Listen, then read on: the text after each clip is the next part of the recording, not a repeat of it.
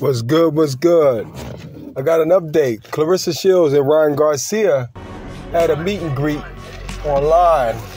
And um, Claressa Shields showed Ryan respect, you know, but she also kept it real with him. Um, they asked about sparring, and um, apparently Ryan Garcia is on a plane headed to Detroit to spar Claressa the Gwoat Shields.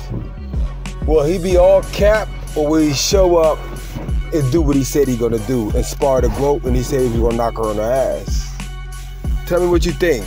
Do you believe Ryan Garcia is all cap or is he on a plane headed to Detroit to spar the GOAT at her gym? She's sending him an address right now as we speak. Let's see it. Let's see what happens. Let me know what you think in this comment section.